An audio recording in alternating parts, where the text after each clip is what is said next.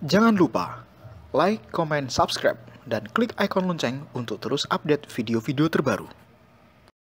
Assalamualaikum warahmatullahi wabarakatuh Wahai sahabatku, semoga sahabatku dalam kondisi sehat walafiat di bawah lindungan dari Allah subhanahu wa ta'ala Dunia media sosial kita diramaikan dengan perbincangan hari lahir atau peringatan hari lahir NU yang ke-94 di Yogyakarta yang awalnya telah disepakati oleh dan mendapatkan izin dari pihak keraton itu dibatalkan karena ada desakan dan juga karena ada penolakan dari warga di sana yang pada satu siang lain atas nama Muhammadiyah. Peringatan itu tidak diterima oleh masyarakat, itu disebabkan karena alasan dua hal.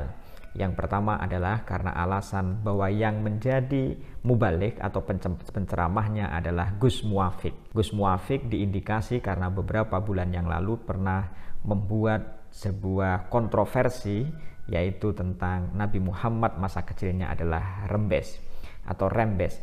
Karena itulah maka kontroversi Gus Muafik ini menjadi salah satu alasan kenapa mereka menolak terhadap peringatan hari lahir NU yang 94 diadakan di Masjid Gede Kauman, Yogyakarta.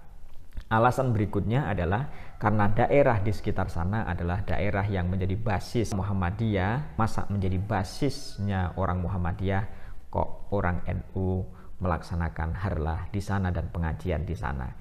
Wahai sahabatku, saya ingin mengulas tentang peristiwa ini dari beberapa perspektif. Yang pertama adalah inilah yang disebut dengan istilah persaingan ideologis.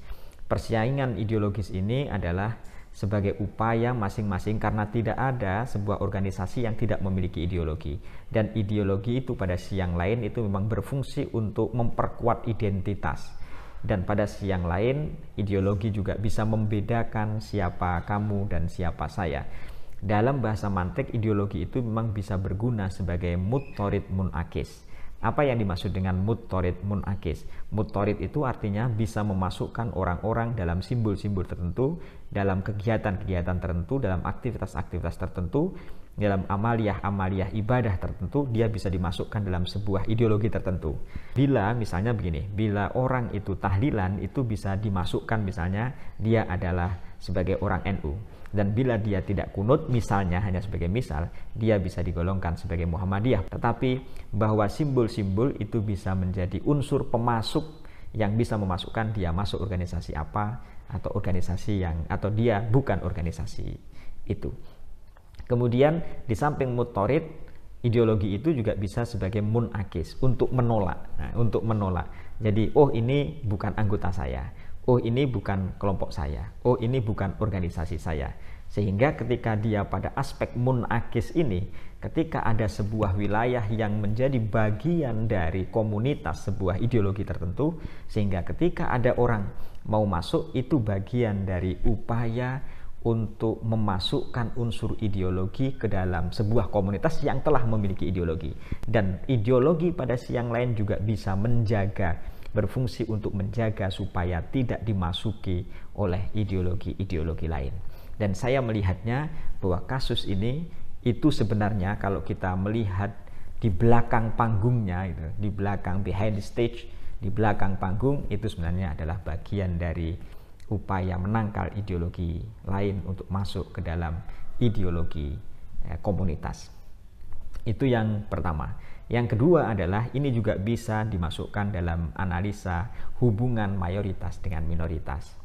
Ketika minoritas itu mulai masuk dalam sebuah mayoritas, dalam lingkungan mayoritas, maka penolakannya pun bisa mungkin terjadi. Tidak hanya NU dan Muhammadiyah, wahai sahabatku, tetapi baik komunitas-komunitas lain pun, ketika ada organisasi lain yang baru yang minoritas, mau masuk ke dalam sebuah mayoritas atau dalam lingkungan mayoritas, biasanya mayoritas selalu bisa bertindak karena dia memiliki posisi, maka dia bisa menempatkan dirinya untuk menolak terhadap ideologi yang baru masuk yang minoritas itu. Padahal kalau mau dikatakan apakah masjid gede itu adalah masjid milik Muhammadiyah, mungkin barangkali bukan, tetapi dia bertempat di tempat yang jumlahnya mayoritas sehingga mayoritas kadang merasa memiliki dan itu bagian dari wilayahnya. Jadi ada hubungan mayoritas minoritas. Sama dengan konflik-konflik yang terjadi di daerah-daerah lain atau negara-negara lain. Dan biasanya wahai sahabatku ketika konflik baik yang bersifat ideologis maupun yang bersifat mayoritas minoritas itu selalu menimbulkan efek.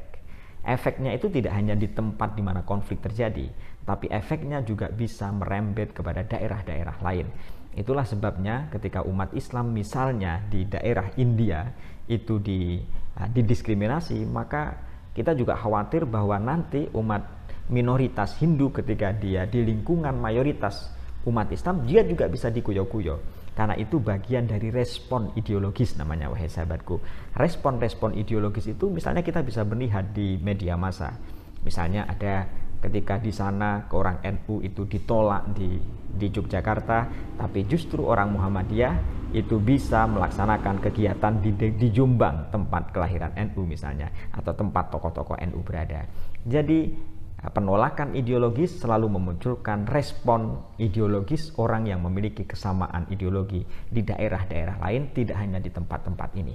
Dan kalau misalnya ini tidak diredam, wahai sahabatku, ini membahayakan. Karena itulah, maka pada kesempatan kali ini, wahai sahabatku, maka apa yang dilakukan oleh NU di sana dengan cara memindahkan tempat pelaksanaan harlah itu adalah sebuah langkah bijak atas nama kondusivitas dan juga atas nama perdamaian, atas nama keakraban, atas nama pertemanan, atas nama persahabatan, maka acara itu dipindahkan dan itu adalah sebuah langkah yang bagus, itu adalah langkah yang bijak. Karena itulah wahai sahabatku, maka dalam konteks ini ini harus hati-hati karena kalau tidak hati-hati kasus ini bisa digoreng oleh siapa pun.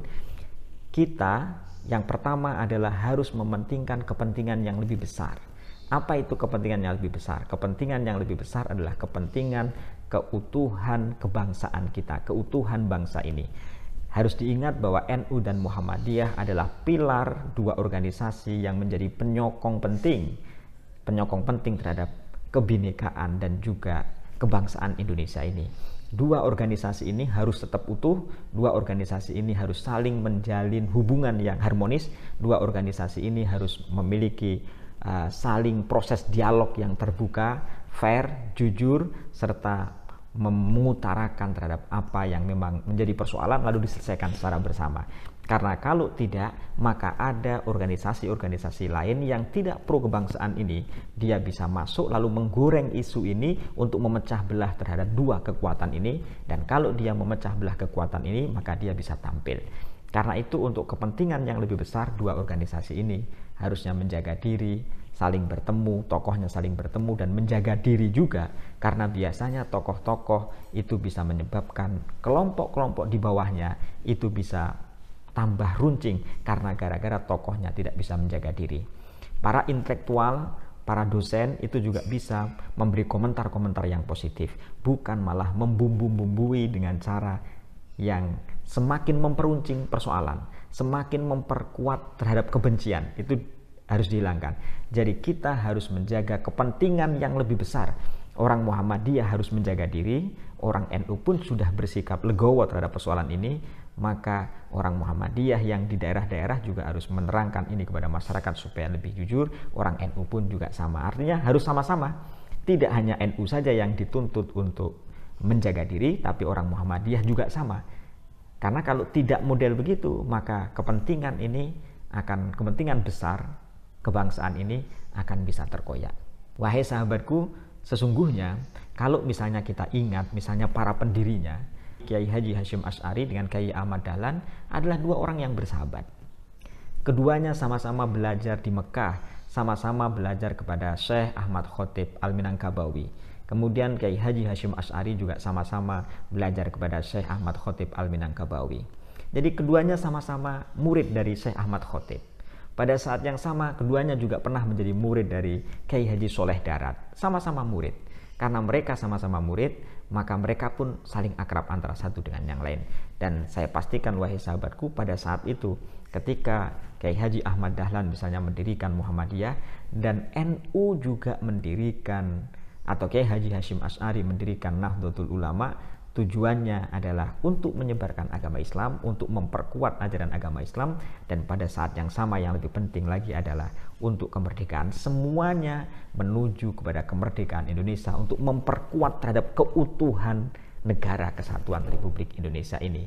Wahai sahabatku, isu ini tolong dikelola dengan baik supaya tidak disusupi oleh orang-orang yang tidak bertanggung jawab hanya untuk kepentingan mereka dan tidak untuk kepentingan kebangsaan kita. Semoga kita bisa bijak, kita semuanya bisa bijak menyikapinya.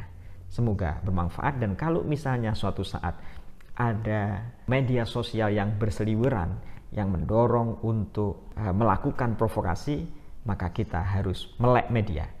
Kita harus menjadi orang yang bisa pilah-pilih.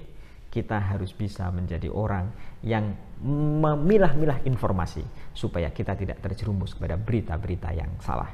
Demikian semoga bermanfaat. Assalamualaikum warahmatullahi wabarakatuh.